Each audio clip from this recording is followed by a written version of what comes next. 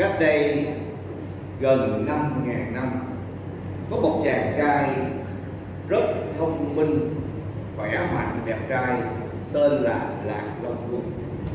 Chàng trai này vốn là người giống rồng.